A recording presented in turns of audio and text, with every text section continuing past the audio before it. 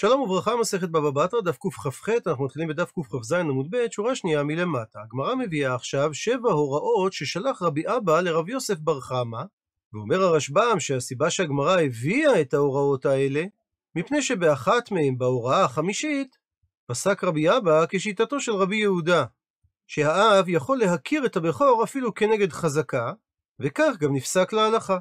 אז להלן ההוראה הראשונה ששלח לרבי אבא לרב יוסף בר חמא, האומר לחברו, עבדי גנבת, והוא החבר עונה לו ואומר, לא גנבתי. אומר לו הראשון, אז מה טיבו אצלך? אומר לו השני, מה זאת אומרת? אתה מכרתו לי. הפכנו דף, או אתה נתתו לי במתנה.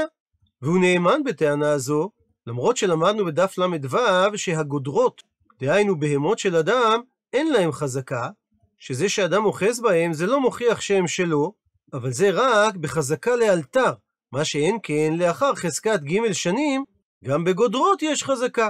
אז כך גם ביחס לעבדים, שכאן מדובר כגון שהחזיק הנתבע בעבד במשך ג' שנים, או שמדובר על עבד קטן המוטל בעריסה, עדי יש לו חזקה לאלתר, שהרי למדנו שוודאי שהאימא לא תפקיר אותו שם, או אפשרות שלישית, שמדובר שאין למערער עדים על טענתו שהוא ראה את העבד בביתו של הנתבע. אז אף על פי שזה הנתבע פטור לגמרי מכל שבועות שבעולם, שהרי ידוע שאין נשבעים על העבדים, וגם אם התובע יישבע, אין השבועה שלו מועילה כדי שהוא יוכל לגבות את העבד מזה הנתבע, שהרי כל הנשבעים שבתורה נשבעים על מנת שלא לשלם.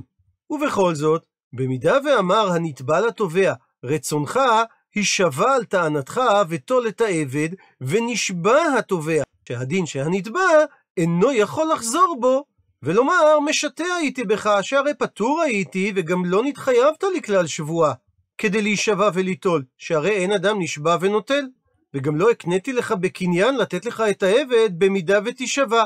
בכל זאת, כיוון שהתובע על פיו של הנתבע נשבע, ובצוואתו, דהיינו במצוותו הוא עשה את השבועה, אז הנתבע צריך לתת לו את העבד, שכיוון שהוא הטיל עליו את השבועה, הרי שהוא האמין לשבועתו, וזה נחשב על ידי השבועה שהוא הודה לו שאכן העבד שייך לו. ומעיר הרשב"ם, שרבי אבא נקט בדבריו עבדי גנבת ולא מטלטלים שלי גנבת, כדי להדגיש את החידוש בדבריו, שאפילו על עבדים שלא שייך בו שבועה כלל, למרות זאת, כיוון שהנתבע השביע את התובע, הוא לא יכול לחזור בו. שואלת על כך הגמרא, מהי כמשמלן? מה החידוש בדבר? תנינא. הרי יש משנה מפורשת במסכת סנהדרין שאומרת, שאם בעל דין אמר לו לבעל דינו, נאמן עלי אבא שלי שהוא יהיה הדיין, למרות שמדאורייתא אבא פסול להיות דיין, כפי שלומדת הגמרא במסכת סנהדרין מהפסוק לא יומתו אבות על בנים. או אם אמר נאמן עלי אביך שיהיה דיין, או אם אמר נאמנים עלי שלושה רועי בקר, למרות שהם אינם בקיאים בדין. ומיר הרשב"ם שהמשנה נקטה דווקא רועה בקר ולא רועה צאן, משום שרועי צאן הם בחזקת רשעים.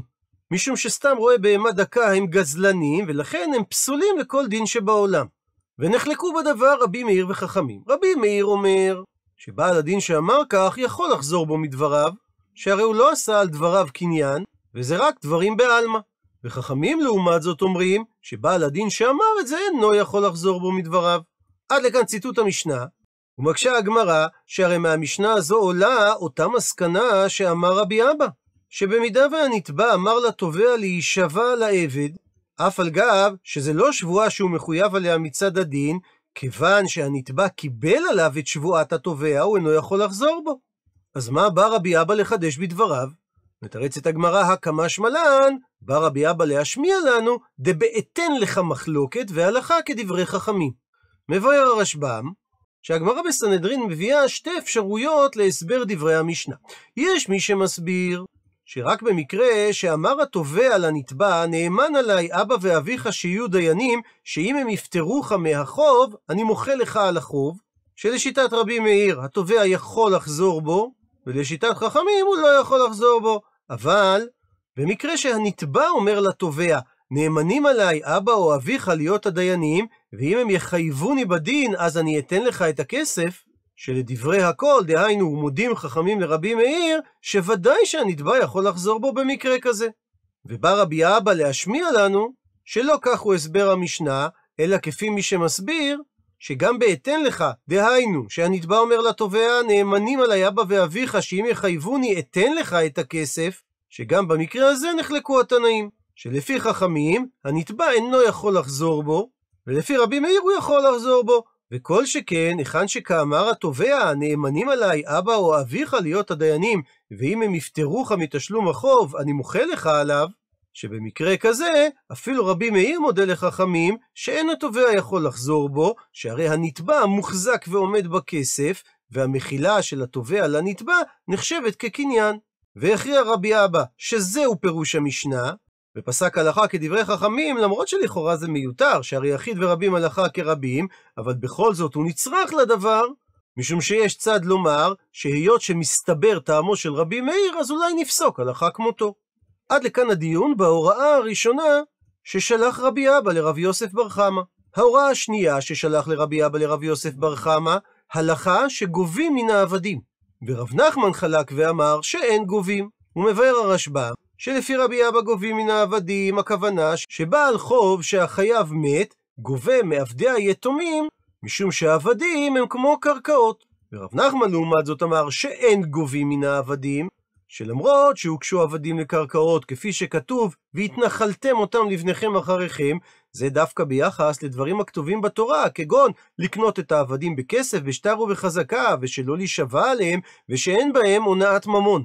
אבל לעניין גביית חובות מהם, הם נחשבים כמטלטלים, שהרי אין בעל חוב סומך אלא על קרקעות, שלא סתם הם מכונים נכסה דלא ניידי, שהרי אין יכולים לאבד אותם ולא להזיז אותם ממקומן, מה שאין כן עבדים, לא סומך את דעתו של בעל החוב שהוא יגבה את חובו מהם, וממילא הם לא משתעבדים לו.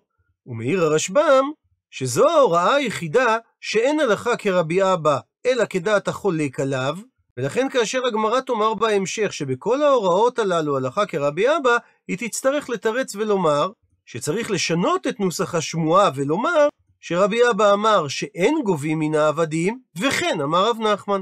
וממשיכה הגמרא להוראה השלישית ששלח לרבי אבא לרבי יוסף בר חמא. הלכה שלישי בשני כשר.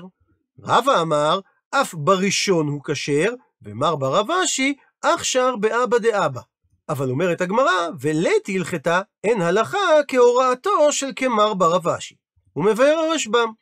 שלישי בשני כשר, הכוונה שדור שלישי כשר להעיד בקרובו שהוא דור שני, כגון בן חנוך בן ראובן הוא דור שלישי לראובן. הוא כשר להעיד בימואל בן שמעון, שבנו של חנוך הוא שלישי לראובן, וימואל בן שמעון שני הוא לשמעון. וראובן ושמעון הם ראשונים. אבל דור שני בדור שני פסול לעדות, כגון בן ראובן פסול לעדות לבן שמעון, והגמרא בסנהדרין לומדת את זה מהפסוק לא יומתו אבות על בנים. שכשם שדור האבות פסול מלהעיד זה על זה, דהיינו עדות של ראובן לשמעון, כך גם פסולה עדות הדור השני, הבנים, דהיינו חנוך וימואל זה לזה, אבל עדות של דור שלישי לדור שני, לא מצינו שפסלה התורה. מסביר הרשב"ם שהצורך בהוראתו של רבי אבא, היא משום שיש מי שמסביר במסכת סנהדרין, שגם דור שלישי פסול להעיד בדור שני. רבא הוסיף על דברי רבי אבא ואמר שהדור השלישי יכול להעיד אף על הדור הראשון, דהיינו, בנו של חנוך בן ראובן יכול להעיד עבור שמעון אחי ראובן. ומר בר אבשי רצה לומר שהנכד יכול להעיד לטובת הסבא, כגון בן חנוך מעיד לראובן, דהיינו דור שלישי בדור ראשון. אבל אמרה הגמרא שאין הלכה כמר בר אבשי, כי בני בנים ובני בני בנים, אפילו עד אלף דורות לא יעידו לאבותיהם, כי לעולם בן נחשב כירך אביו, ולכן הם נחשבים כאותו הדור. התוספות במקום חולק על דברי הרשב"ם, וסובר שהפסול הוא דווקא בין הנכד לסבא, ולא מעבר לכך, דהיינו, שאין הלכה כמר ברב אשי, שנכד יכול להעיד לסבא, אבל נין כן יכול להעיד לסבא. וממשיכה הגמרא להוראה הרביעית ששלח לרבי אבא לרבי יוסף בר חמא. אדם שהיה יודע לו לאדם אחר בעדות קרקע עד שלא נסתמה, ונסתמה פסול. מסביר הרשב"ם, היה יודע אדם לחברו בעדות קרקע עד היכן היא שלו, והשיגו את גבולו של אותו אדם, ואותו אדם הביא את זה אסומה, ועד אחר עמו, כדי להעיד עבורו, אף על פי שאותו סומה היה יודע יפה בעדות זו קודם שהוא להתעוור בעיניו, אבל היות שעכשיו בשעת העדות הוא נעשה סומה שכהה מאור עיניו, אז הוא יהיה פסול לעדות זו, ולא נחוש לעדותו, כי עדותו אינה ודאית, כי מאוד מדהדת הוא אינו יכול להעיד עד איפה תחום פלוני. ושמואל אמר שאדם שהיה פיקח והתעוור לאחר מכן, כשר לעדות קרקע, מפני שאפשר דמכוון מצרנה, כי ייתכן והוא יודע לכוון את גבולות השדה, כי יש לו סימנים בשאר השדות שסמוכים לארבע רוחותיה של השדה, עליה הוא מעיד. אבל עדות על גלימה, דהיינו על טלית או על בגד אחר, הוא לא יכול לתת, שהרי הוא אינו יכול להעיד עליה לאחר שהוא יתעוור, שלמרות שהוא יכול לומר מהי מידת הבגד, הרי הרבה טליתות מידתן שווה. ורב ששת אמר, אפילו עדות על גלימה אפשר לקבל ממנו, משום דמכוון מידת אורכו ומידת רוחבו. ובזה יש הבדל בין הבגדים. אבל עדות על נסחה, על חתיכת כסף או זהב, לא ניתן לקבל ממנו. ורב פאפה אמר שאפילו עדות על נסחה אפשר לקבל ממנו, משום דמכוון מידת משקלותיו. שהרי הוא יכול לומר מה היה המשקל המדויק של חתיכת המתכת. מי טבעי מקשה הגמרא ממקור דנאי על הדעות של שמואל רב ששת ורב פאפה, שיש ברייתא שאומרת, אדם שהיה יודע לו לאדם אחר בעדות עד שלא נעשה חתנו, ונעשה חתנו, התחתן עם הבת שלו, ואותו רגע הוא נהיה פסול לעדות. או אדם שהיה פיקח וידע עדות מסוימת ונתחרש. או אדם שהיה פיתח, דהיינו רואה טוב, ונסתמה התעוור. או אדם שהיה שפוי בדעתו כאשר הוא ראה עדות מסוימת, ונשתתה. בכל המקרים הללו הוא פסול מלתת עדות, למרות שהוא ידע אותה בזמן שהוא היה כשר. אבל אומרת הברייתא, אם היה יודע לו לאדם אחר בעדות עד שלא נעשה חתנו, ולאחר מכן ונעשה חתנו, ולאחר מכן ומתה בתו, ומדובר שאין לו בנים ממנה, כך שבהתחלה הוא היה רחוק, אחר כך הוא התקרב, ואז שוב הוא התרחק. או שבהתחלה היה פיקח, לאחר מכן ונתחרש, ואז וחזר ונתפכח.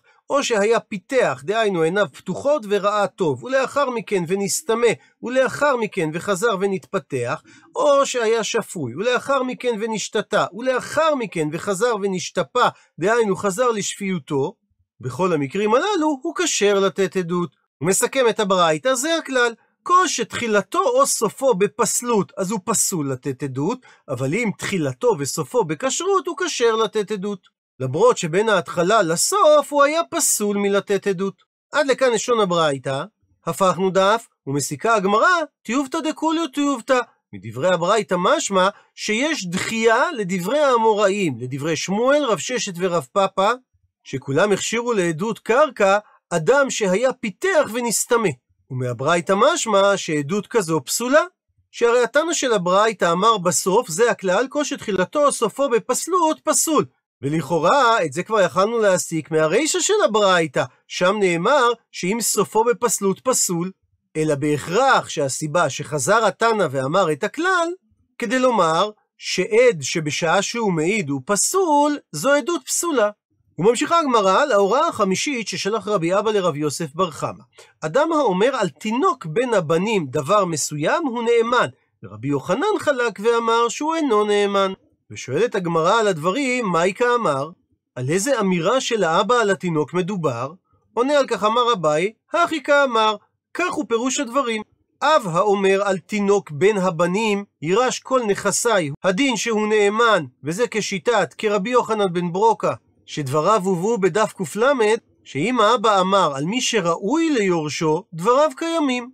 ורבי יוחנן שאמר שהאבא אינו נאמן בדברים אלו, הוא סובר כרבנן, שאמרו במשנה בדף קכ"ו, שאם אדם משתמש בלשון של ירושה על מנת לשנות את סדרי הירושה הכתובים בתורה, אז הרי הוא מתנה על מה שכתוב בתורה, וממילא מה שהוא אמר בטל. מה תקיף מקשה רבה על הסברו של אביי? היי, זו הלשון שנקטו רבי אבא ורבי יוחנן במחלוקתם, האם האב נאמן לפי רבי אבא או ואינו נאמן לפי רבי יוחנן, היא אינה מתאימה, אלא יירש ולא יירש מבעי עלי. הם היו צריכים לנקט לשון של יירש לפי רבי אבא ולא יירש לפי רבי יוחנן.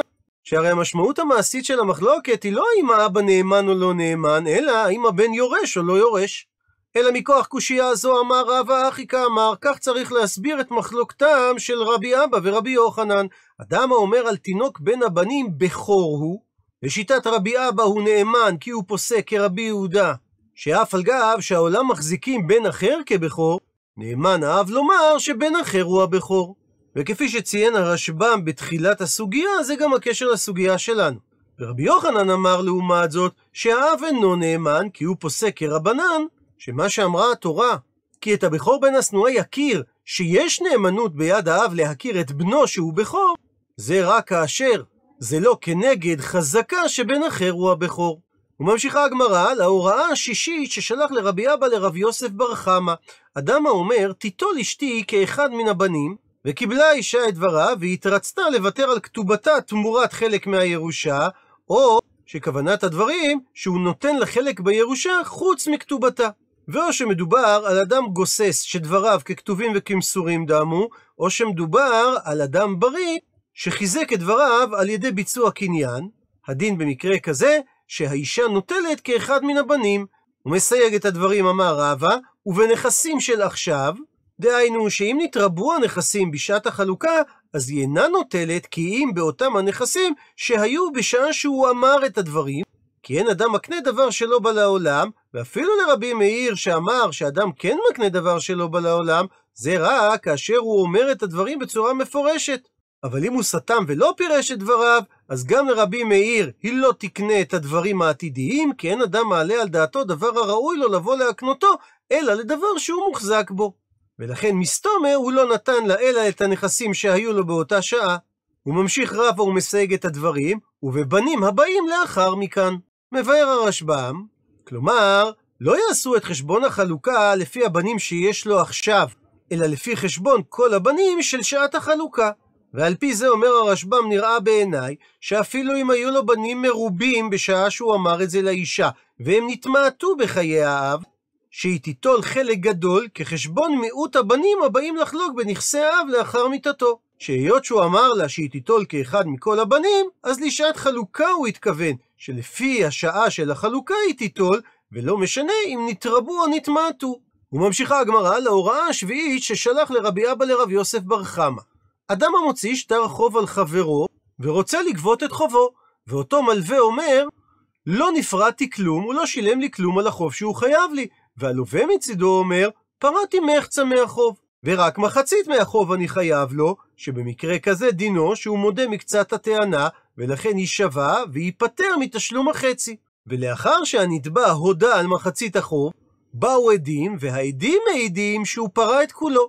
הדין במקרה כזה, שהרי זה נשבע וגובה התובע מחצה מנכסים בני חוריים של הנתבע, אבל ממשועבדים הוא לא גובה. דהיינו שמחצה מהחוב הוא גובה מנכסים שנמצאים ביד הנתבע, ואסור לו לגבות מנכסים שקנו אותם לקוחות לאחר שהנתבע לקח ממנו הלוואה. למרות שהנכסים הללו משועבדים לתשלום ההלוואה, וזה משום דאמרי אותם לקוחות שקנו את הנכסים המשועבדים, אנן העדים סמכינן. יש לנו חשש שאתם, התובע והנתבע, עושים קנוניה כנגדנו, ואנחנו מעדיפים לסמוך על עדות העדים שמעידים שהנתבע פרע את כל החוב. וכדי להבין את המשך הגמרא, מביא הרשב"ם את מחלוקתם של רבי עקיבא ורבי שמעון בן אלעזר בתחילת פרק שניים אוחזים בבבא מציע, ביחס לשטר שכתוב בו סלעים או דינרים הייתה הלוואה, ולא מפורט סכום ההלוואה במפורש. שהמלווה אומר שההלוואה הייתה חמש סלעים, והלווה אומר שההלוואה הייתה שלוש סלעים. במקרה כזה רבי שמעון בן אלעזר אומר, הואיל והלווה לא נצמד ללשון השטר שמיעוט רבים זה שניים, אלא הוא הודה מקצת הטענה, ואמר שסכום ההלוואה זה שלוש, לכן היא שווה. רבי עקיבא חולק ואומר שהלווה במקרה כזה אינו אלא כמשיב אבדה והוא יהיה פטור משבועה. כי הרי לשון סלעים לא משמע יותר משניים, שהרי תפסת מרובה לא תפסת, ולכן יד בעל השטר על התחתונה, ועל הסלע השלישי שהודה הלווה, הוא נחשב כמשיב אבדה. ושנינו במסכת גיטין, שהמוצא מציאה לא יישבע מפני תיקון העולם, כי אם תחייב את המוצא מציאה להישבע, אז אנשים יפסיקו להשיב אבדות. ואמר רבי אבא, ואפילו לרבי עקיבא דאמר, שהלווה שהודה שההלוואה הייתה שלושה סלעים, ביחס לסלע השלישי משיב אבדה הווה, שהרי אם הוא רוצה הוא יכול היה לטעון שההלוואה הייתה רק שני סלעים, והוא היה נפטר משבועה, שהרי השטר מסייע לדבריו. הני מילי, דברי רבי עקיבא אלו, שהלווה נחשב כמשיב אבדה, זה רק איכא דלקא עדים, שאין עדים כנגד דברי הלווה, כפי שמדובר שם במסכת בבא מציע, שעדי המלווה לא ידעו אלא מה שכתבו, והם כתבו סלעים סתם, דהיינו מינימום של שניים. אבל איכא דאיכא עדים, ערתותא עירתת. אבל היכן שאנו רואים שבסופו של דבר יש עדים שתומכים בגרסת אחד מהצדדים, אז יש לומר שגם רבי עקיבא סובר שהלווה לא נחשב כמשיב אבדה, אלא היה יודע שרוצים העדים להעיד כנגדו, ומשום שהוא פחד שהם יבואו לסייע למלווה כנגדו, אז הוא הודה על מחצה. מה התקיף לה מקשה על כך מר ברב אשי? אדרבה, ניתן לומר בדיוק להפך, שאפילו לרבי שמעון בן אלעזר דאמר, שהלווה שאמר שההלוואה היא שלושה סלעים ולא שניים, מודה מקצת הטענה הווי, ולכן הוא חייב שבועה, הני מילי, ניתן לומר שדברים אלו שהוא חייב שבועה, זה רק איכא דלקא עדים דקמסאי לי, שאין עדים שמסייעים לדבריו. אבל איכא דאיכא, היכן שיש עדים דקמסאי לי, אז במקרה כזה ודאי משיב אבדה הווי. גם רבי שמעון בן אלעזר יאמר שהוא לא נחשב כמודה במקצת, אלא כמשיב אבדה, שהרי יש עדות שמסייעת לטענתו, ואף על גב שלא באו העדים, אלא אחרי שהוא הודה. ולעניין פסיקת הלכה, דרש מר זוטרא משמי דרב שימי בראשי, הלכתה בכל הנשמטתה, בכל שבעת ההוראות שהבאנו, אז ההלכה היא כדשלח לרבי אבא לרב יוסף בר חמא. ועל דברים אלו, אמר לי, שאל רבינו לרב אשי, דרב נחמן מאי, הרי קיימה לנו מסכת כתובות שהלכה כרב נחמן בדיני, ובהוראה השנייה חלק רב נחמן על רבי אבא, ואמר שאין גובין מהעבדים. אז כיצד מסתדרים דברי רב זוטרא שהלכה כרבי אבא, עם הכלל שאומר שהלכה כרב נחמן בדיני? אמר לי, ענה לו רב אשי, אין גובין מתנינן לה. אנחנו שנינו גרסה אחרת בדברי רבי אבא בהוראה השנייה, שאין גובין חוב מן העבדים, ושרב נחמן לא חלק עליו, אלא הגרסה היא, וכן אמר רב נחמן. אבל אם כך שואלת הגמרא, ואלא הלכתה לאפוקי מאי, כיוון שבהוראה השנייה לא נחלקו רבי אבא ורב נחמן, אז פשיטא שכך היא ההלכה. אז ביחס לאיזה משאר ההוראות, בא מר זוטרא לומר שהלכה כרבי אבא ולא כדעה שחלקה עליו. הפכנו דף, שהיא תרצה לומר שמר זוטרא רצה לאפוקי מדרבה, שאמר בהוראה השלישית שהדור השלישי יכול להעיד לדור הראשון, והלא מוסיפו על דברי רבי אבא שאמר שדור שלישי בשני כשר. וייתכן לומר שרבי אבא מודה לדברי רבא והוא לא חלק עליו. והיא תרצה לומר שמרזוטו אמר שהלכה כרבי אבא כדי לשלול שאין הלכה מדמר ברב אשי שאמר שנכד יכול להעיד לטובת סבו, והרי גם ללא דברי מרזוטרה כבר נפסק שלט הלכתה כמר ברב אשי. כך שוודאי שדברי מר זוטרא לא נצרכו עבור ההוראה השלישית. והיא תרצה לומר שמר זוטרא אמר את דבריו לאפוקי מדשמואל ורב ששת ורב פאפא, שחלקו על דברי רבי אבא בהוראה הרביעית, והרי ההתעטבו. הרי הגמרא כבר הביאה ברייתא שעל פיה היא דחתה את דבריהם, כך שדברי מר זוטרא לא נצרכו גם עבור ההוראה הרביעית, אלא מגיעה הגמרא למסקנה שדברי מר זוטרא נצרכו להוראה החמישית והשביעית, לאפוקי מדרבי יוחנן, ומהתקפתא דמר ברב אשי. כדי להכריע כדעת רבי אבא על פי הסברו של רבא, שהאומר על תינוק בין הבנים בכור הוא, הוא נאמן כשיטת רבי יהודה, ולהוציא משיטת רבי יוחנן שאמר שאינו נאמן, שפסק כרבנן. וכן להכריע בהוראה השביעית כהסברו של רבי אבא, שכאשר הלווה אומר פרעתי מחצה, והעדים מעידים שהוא פרע את הכל, הוא צריך להישבע, אפילו לשיטת רבי עקיבא. ולא כפי שהקשה אמר ברב אשי. וזה משום שבשעה שהודה הלווה על מחצית החוב, עדיין לא העידו העדים וסייעו לו, ולכן יש צד לומר שהיות שהוא לא ידע מה בליבם להעיד, הוא פחד מהם ולכן הוא הודה. עד לכאן דף קכ"ח.